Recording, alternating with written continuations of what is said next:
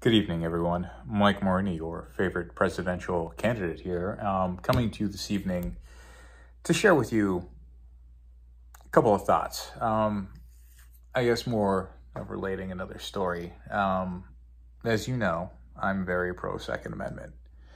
Um, and if you've seen my videos, especially my shorts with my dogs, um, recently was out walking them in the woods and I don't want to say like a situation. I'm not really sure what to call this, but um, out in the woods, walking through the brush, my dogs and I came across um, a young girl. Um, by young, I mean like younger than I am, probably 16, 17.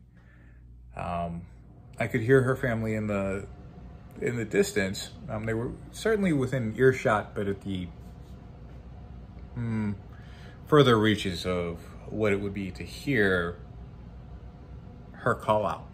Um, and she gave me a look of fear.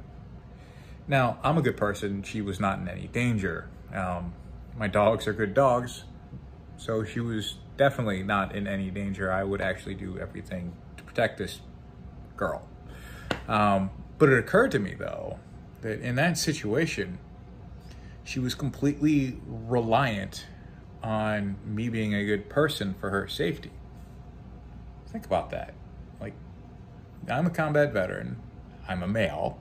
Um, I work out. You know, maybe I'm not the most, um, the toughest guy or the best fighter out there, but I can hold my own, generally speaking. Um, certainly better than a 16 through 50 year old woman could, generally speaking.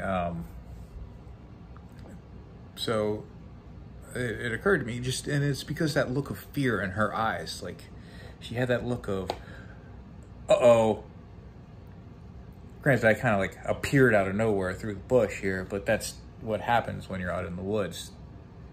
You know, people sneak up on you. Well, not me. They don't sneak up on me, but you get what I'm saying here. Um, but had she been armed, assuming she's old enough to carry a weapon like that, um, we would have been on equal footing.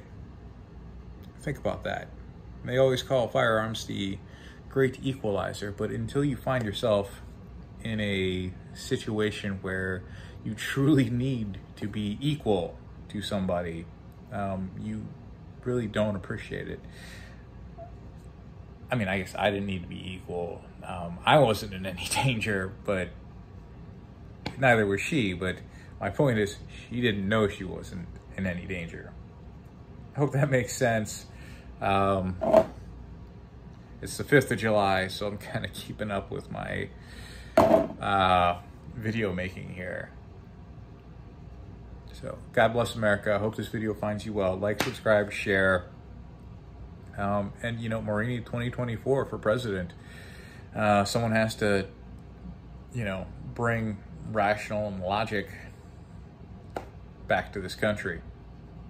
Or we could just keep, you know, electing the same clowns over and over again and continue on with our oligarchy. We could do that too. We probably shouldn't, but we could. God bless you.